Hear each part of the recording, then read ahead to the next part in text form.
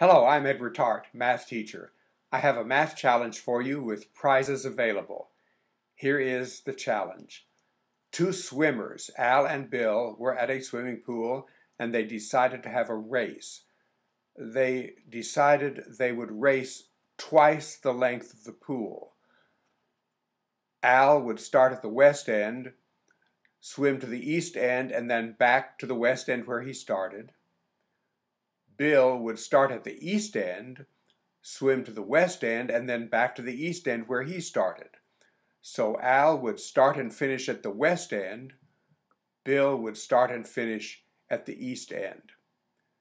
Let us suppose in this challenge that both swimmers swam at a constant rate and that each turned instantaneously at the halfway mark of his race.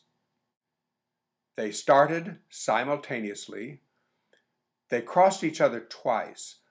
The first time they crossed was 30 feet from the east end, and the second time they crossed, they were 27 feet from the west end. And I have two questions. Who won the race? And how many feet long was the pool? If you can answer those questions, please don't do it at the comment section of this video. Instead, go to my profile page. On the right side, find where it says Created By.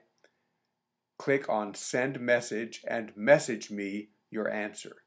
If you are right on your first try, you can have a prize if you want it. The prize that I offer is an audio file of me playing my piano, a selection that I recorded many years ago.